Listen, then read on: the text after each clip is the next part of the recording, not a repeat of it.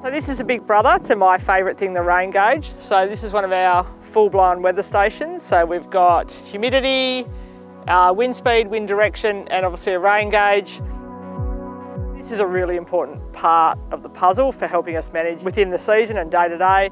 It gives us record keeping, but also again, if we're remote from the site, we can see what's going on here. So when we had the rain in July, we could literally lie in bed and go, oh, we're up to 300 mils over the last 48 hours. So yeah, really useful piece of kit and um, wouldn't be without it.